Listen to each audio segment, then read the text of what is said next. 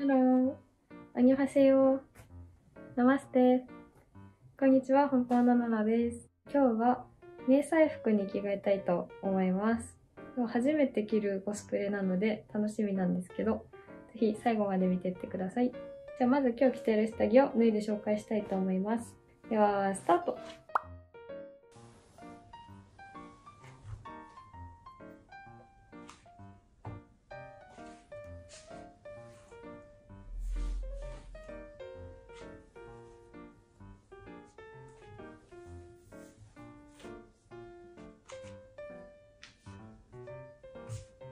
はい、今日履いてるパンツはこちらです。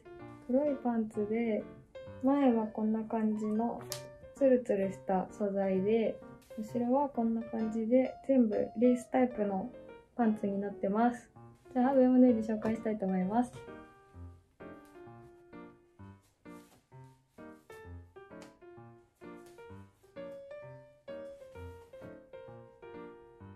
はい、上も脱ぎました。パンツとお揃いで真っ黒なブラになってます。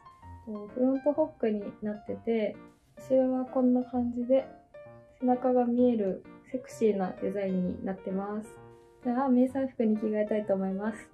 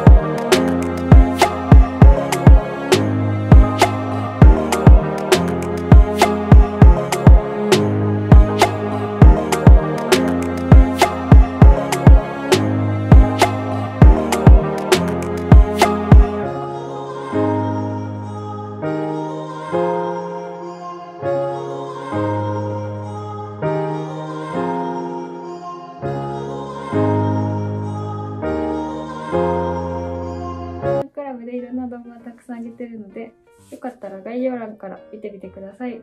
高評価とチャンネル登録もよろしくお願いします。ありがとうございました。